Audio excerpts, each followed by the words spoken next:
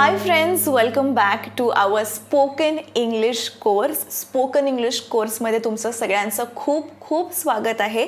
Friends आज आपण अगदी बेसिकपासून सुरुवात करणार आहोत. म्हणजे काय? तर बऱ्याच जणांना कळत नाही की इज कधी वापरायचं.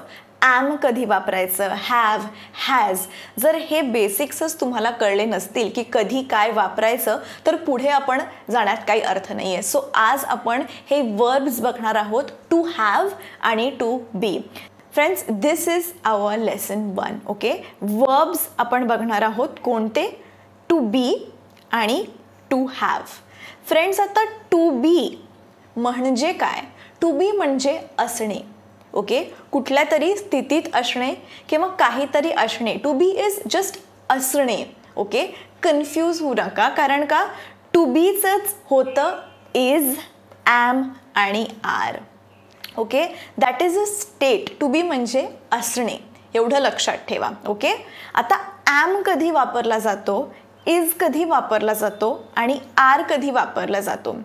ते आपण बघणार आहोत. आणि फ्रेंड्स हा जो चार्ट आज आपण शिकणार आहोत तो तुम्ही लिहून तर काढाच पण हा पाठ करा ओके पक्का मनात हा चार्ट असू दे बिकॉज याच्या आधारेच पुढचं सगळं अवलंबून आहे. All right the entire thing is dependent on this so I जेव्हा तुम्हाला वापरायचं असेल तेव्हा you must use am I am okay I बरोबर कधीच आय इज किंवा आय आर लागत नाही. So it's always going to be I am all right आता इज इजचा वापर कधी कधी होणार आहे? He is she is it is किंवा कोणाचं तरी नाव असेल शीतल इज किंवा एखादी गोष्ट असेल सिंग्युलर म्हणजे एक वचनी नाम. Like for example say bottle okay bottle is water bottle is tiffin is so एक कुठली तरी गोष्ट असेल तर इज आपण वापरणार आहोत. सो इज ही ॲम कधी आपण वापरत नाही. ही इज ही आर कधी आपण वापरत नाही ही इज ही म्हणजे तुम्हाला आय होप माहिती असेल ओके बेसिक तुम्हाला माहिती असं समजून चालते मी तरी मी तुम्हाला सांगते. ही म्हणजे तो शी म्हणजे ती मुलगी असेल तर ती म्हणजे शी इट म्हणजे एखादी वस्तू असेल किंवा एखादं ऑब्जेक्ट असेल किंवा जे ही आणि शीमध्ये बसत नाही. लाईक एखादा पक्षी असेल तरी तुम्ही म्हणू शकता it okay it is okay आणि नाव ओके नाव तर सांगितलंच आहे. Suppose Aishwarya is Rahul is Shashank is okay singular noun एखादीच गोष्ट तुम्हाला सांगायची असेल मोबाईल इज माय कोंब इज ओके एकच गोष्ट असेल तर इज येणार. त्याच्याबरोबर ॲम किंवा आर येणार नाही. सो इज या गोष्टींबरोबर येणार आहे. लक्षात ठेवा. Next is you are okay we are. They are. आणि प्लुरल नाऊन असेल अनेक वचन तरी आर. यू म्हणजे काय? तू किंवा तुम्ही. ला आपण कायम आर वापरणार. यू इज नाही वापरत आपण. यू ॲम नाही वापरत आपण. यू बरोबर कायम you are. You are a good girl okay? You are a good student. All right तुम्ही एक चांगले स्टुडंट आहात तू एक चांगला स्टुडंट आहेस. You are. Okay? We are we are okay we म्हणजे आपण किंवा आम्ही. आर दे म्हणजे ते. ते दे त्याच्याबरोबर सुद्धा आर लागतो. आणि प्लुरल नाऊन असेल फॉर एक्झाम्पल खूप सारे मुलं आहेत तर आपण म्हणतो ना किड्स सो किड्स आर जास्ती लोक असतील ओके जास्ती गोष्टी असतील तर आर सो बेसिक हा चार्ट आहे.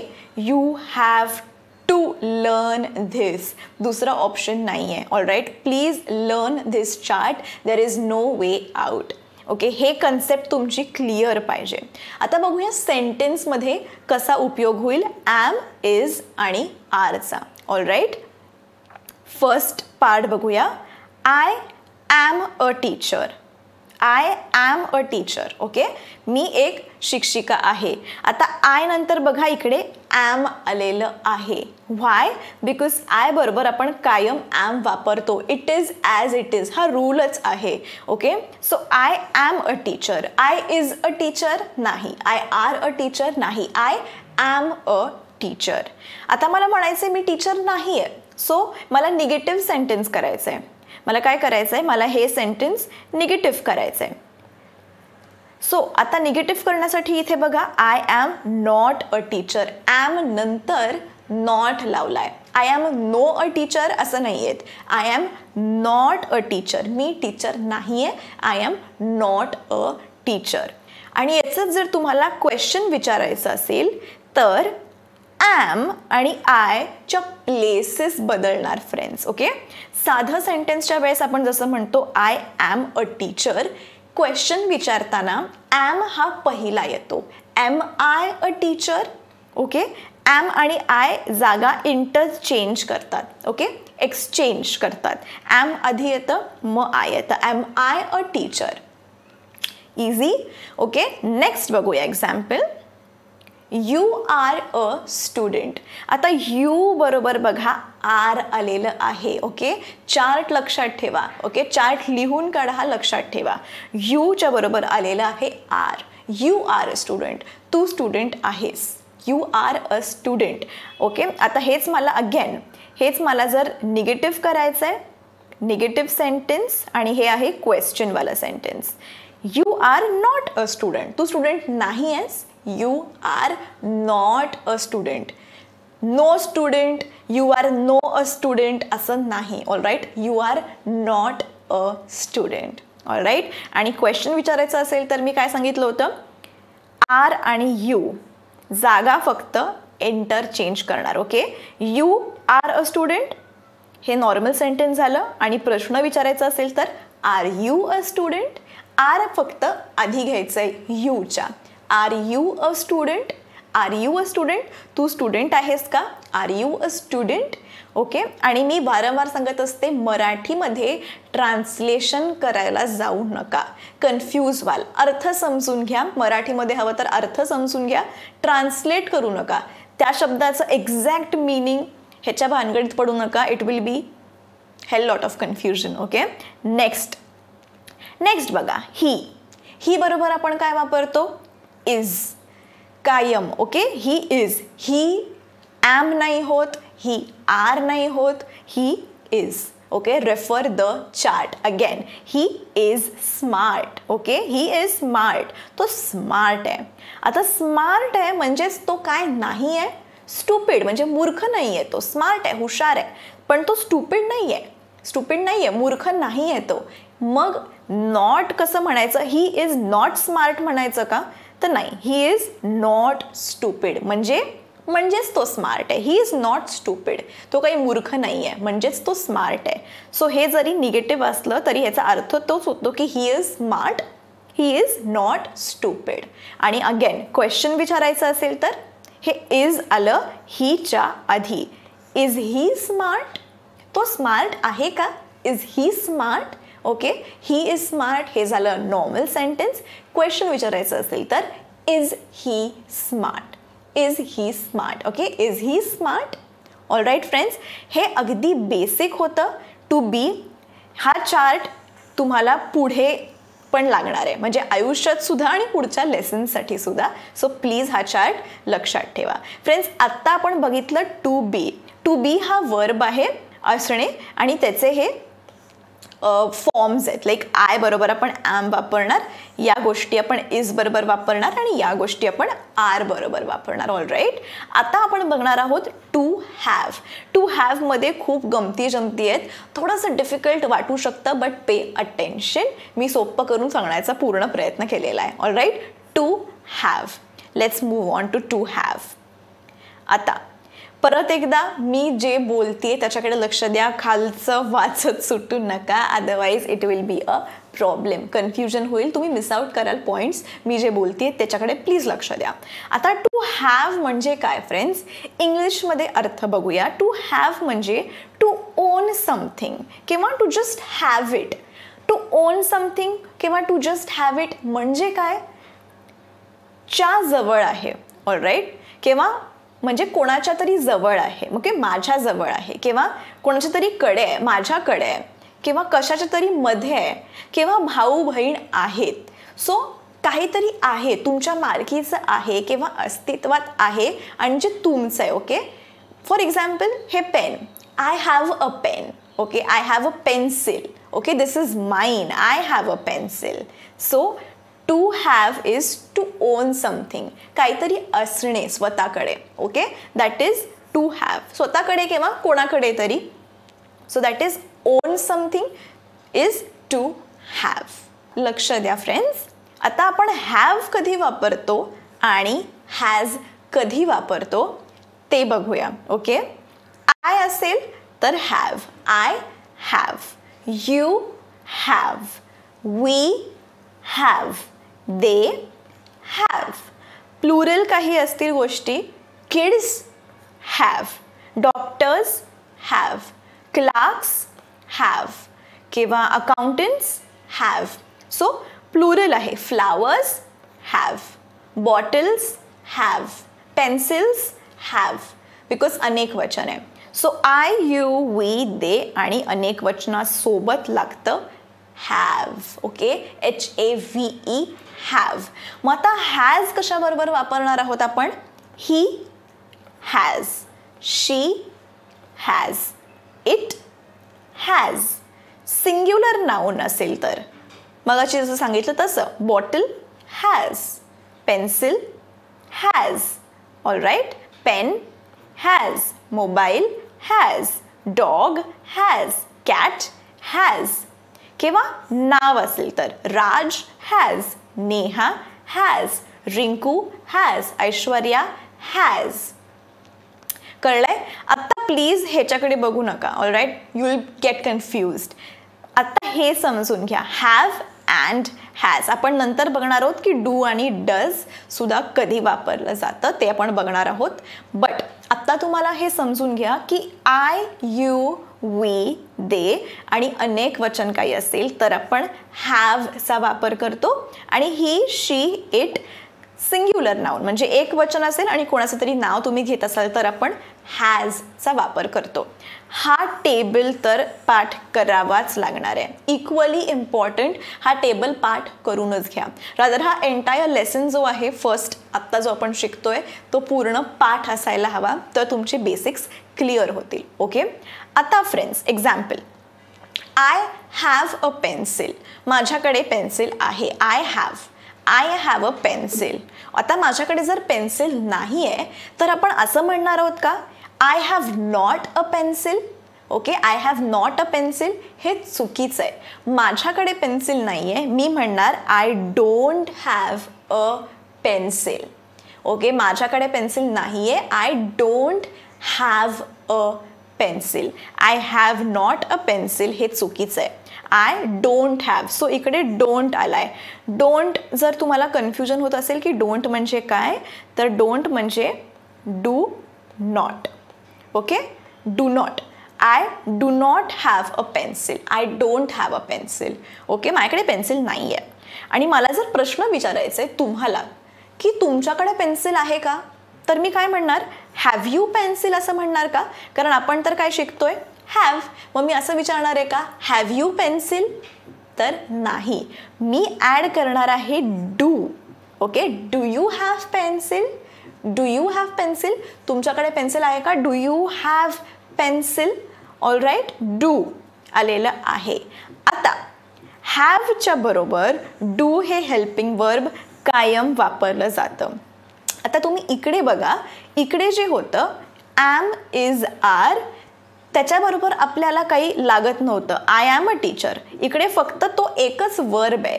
डू किंवा बाकी कशाची आपल्याला गरज लागली नाही. डू डज ची काही गरज नाही लागली. पण हॅव फ्रेंड्स असा एक वर्ब आहे की त्याला डू या हेल्पिंग वर्बची मदत लागतेच. ओके हेल्पिंग वर्ब हेच नाव सांगतंय की कोणाला तरी ते मदत करतं. ओके ते क्रियापद जे आहे ते कोणाला तरी मदत करतं आणि हॅवच्या बरोबर डू हे कायम वापरलं जातं.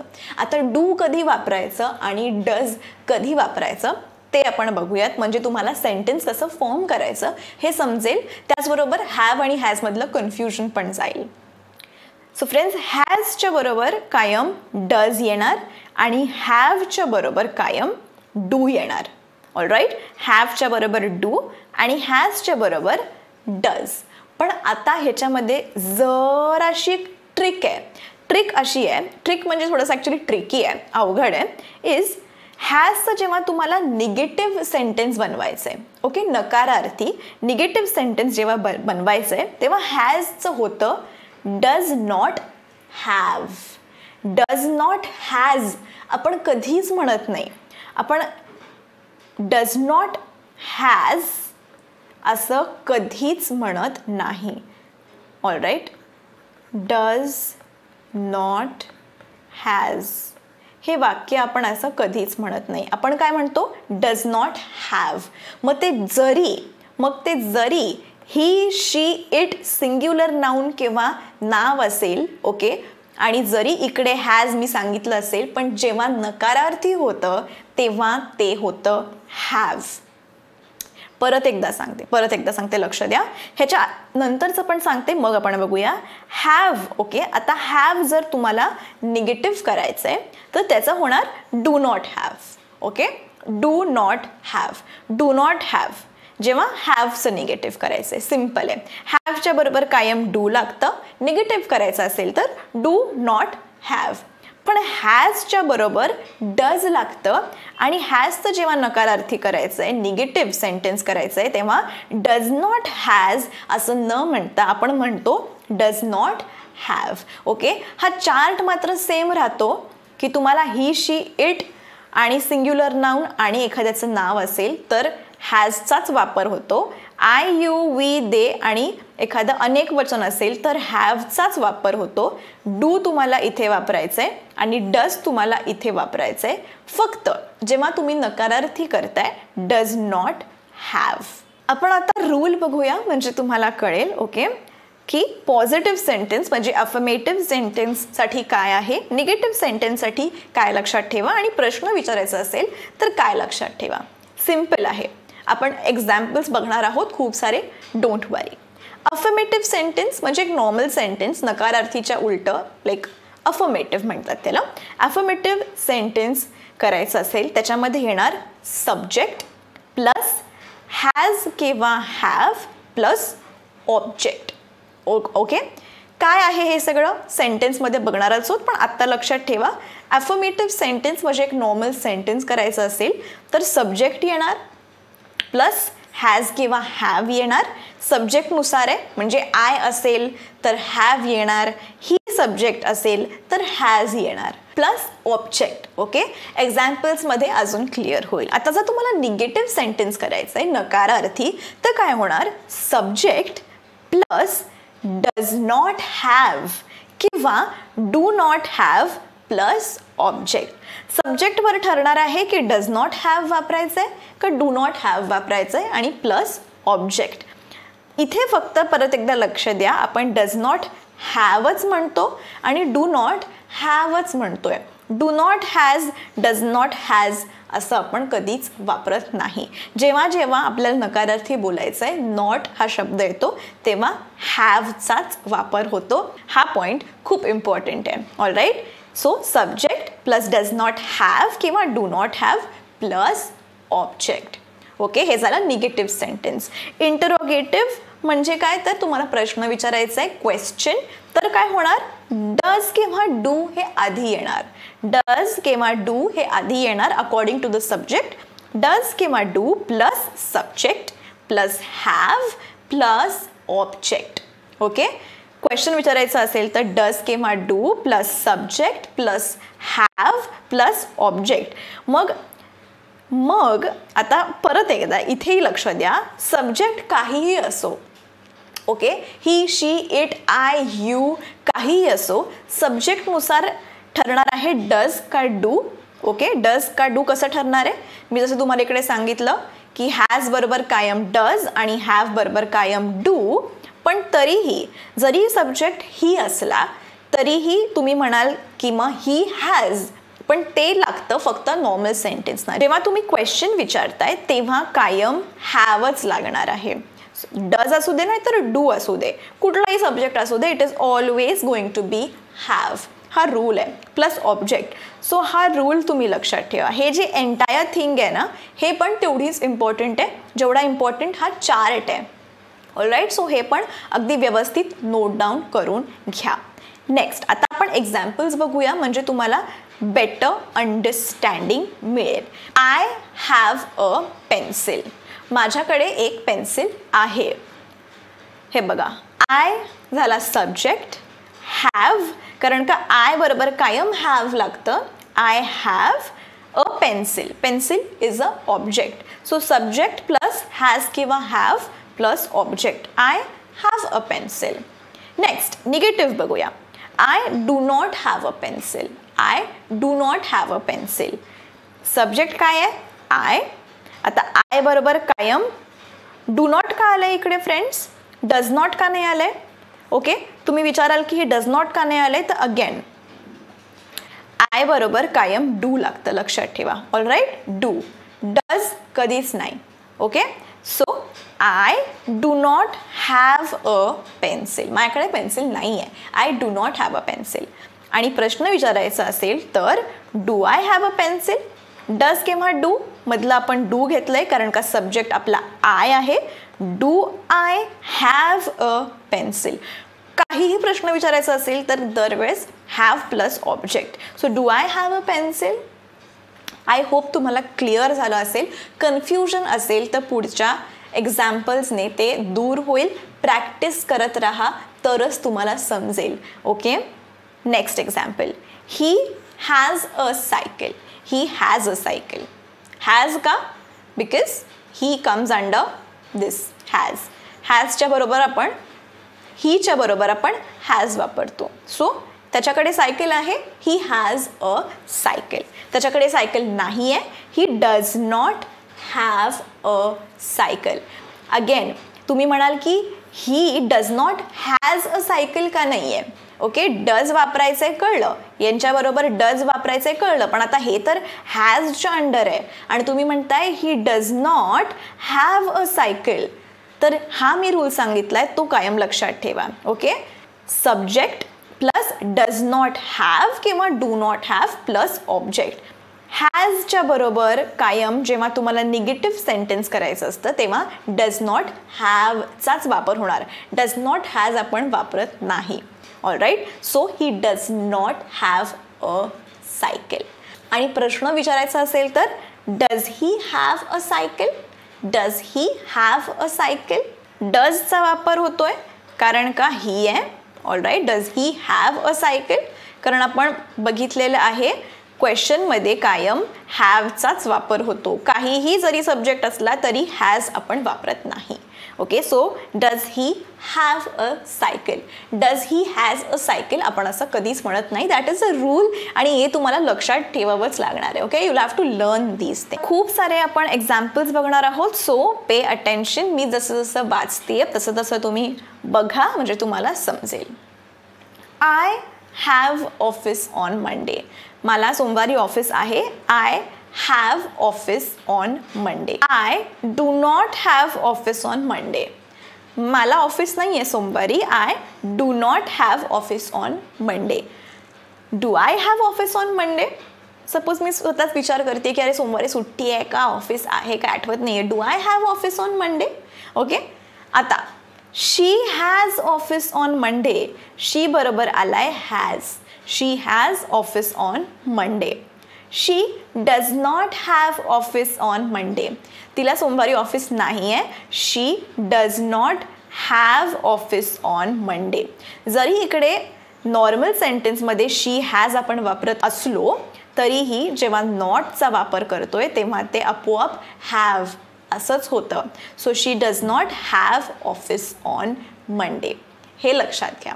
ओके आणि प्रश्न विचारायचा असेल तर does she have office on Monday again question विचारायचा असला तरीही आपण हॅजचा वापर करत नाही. हॅवच वापरतो. Does she have office on Monday clear तसंच we have meeting at twelve P M आमची मीटिंग असणार आहे बारा वाजता. आमची मीटिंग आहे बारा वाजता. We have a meeting we बरोबर कायम हॅव आणि we do not have a meeting today आमची आज मीटिंग नाही आहे we do not have a meeting today आपली आज मीटिंग आहे का? Do we have a meeting today do we have a meeting today clear आहे? आता Seema has a pink top तिच्याकडे पिंक टॉप आहे. पण आता तिच्याकडे पिंक टॉप नाही आहे Seema does not have a pink top does not have does not has असं नाही होत. Does not have a pink top सीमाकडे pink top आहे का? Does Seema have a pink top इकडे आपण डू नाही म्हणत okay do Seema has a pink top नाही. Does Seema have a pink top okay कारण की का? जसं मी तुम्हाला हा रूल सांगितला. डज केव्हा डू सब्जेक्टनुसार पण हॅव प्लस ऑब्जेक्ट आता सीमा म्हणजे नाव आहे. जे येतं या कॅटेगरीमध्ये पीपल्स नेम या कॅटेगरीमध्ये सीमाचं येतं. सो हॅज यायला पाहिजे पण आपण प्रश्न विचारतोय त्यामुळे हॅव येणार. सो हे तुम्ही लक्षात ठेवा इम्पॉर्टंट आहे. Does Seema have a pink top तिच्याकडे आहे का पिंक टॉप अजून एक बघूया. Doctors have a difficult job अनेक वचनी आहे त्यामुळे हॅव येणार. Doctors have a difficult job त्यांचा जॉब खूप डिफिकल्ट आहे. Doctors do not have free time डॉक्टर्सकडे मोकळा वेळ नसतो. Doctors do not have okay इथे हॅज का नाही वापरलं आहे आपण? कारण डॉक्टर्स अनेक वचनी आहे आणि अगेन या चार्टमध्ये आपण बघितलं प्लुरल काही असेल तर आपण हॅव वापरतो. अनेक वचनी. Okay so doctors do not have free time तसंच प्रश्न विचारायचा असेल तर do doctors have leaves on Sundays डॉक्टरांना सुट्ट्या असतात का? रविवारी? Do doctors have leaves on Sundays okay इकडे डज नाही वापरलं आहे अगेन कारण का? हा चार्ट लक्षात ठेवा ऑल राईट या गोष्टींबरोबर डूच वापरला जातो all right so do doctors have leaves on Sundays is your question तसंच द बॉटल हॅज लिकेज आता द बॉटल बरोबर हॅव का नाही वापरलं आहे हॅज का वापरलं आहे कारण एक वचन आहे. आपण मगाशी चार्टमध्ये बघितलं एक वचन असेल तेव्हा आपण हॅज वापरतो. Singular the bottle has a leakage leakage म्हणजे बाटली गळती आहे the bottle has a leakage आता बाटली गळत नाही आहे the bottle does not has a leakage नाही येणार. Does not have a leakage येणार okay the bottle does not have a leakage negative झालं सेंटेन्स किंवा प्रश्न विचारायचा असेल तर हॅवच येणार. The bottle does not have a leakage तुझी वाटली गळती आहे का?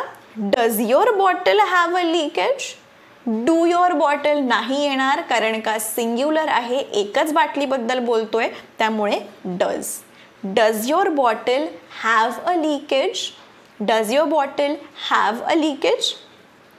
ही होती example sentences friends I hope तुम्हाला कळलं असेल हे जे चार्ट्स आहेत ना फ्रेंड्स टू हॅवचं म्हणा टू बीचं म्हणा हे जे मी तुम्हाला सांगितलं हे सगळे इम्पॉर्टंट गोष्टी आहेत तुमचा बेस क्लिअर करण्यासाठी. सो प्लीज हे तुम्ही नोट डाऊन करा. फ्रेंड्स हा झाला आजचा लेसन ओके डिफिकल्ट वाटू शकतो but keep studying more listening more okay ऐकत राहा आणि कीप प्रॅक्टिसिंग मोर जास्ती प्रॅक्टिस करत राहा to understand this lesson completely don't be scared if you are finding this lesson difficult right now the more you practice the better you will get. Now go ahead and solve the exercises, solve your homework, the assignment which I have given and I'll see you all in the next lesson.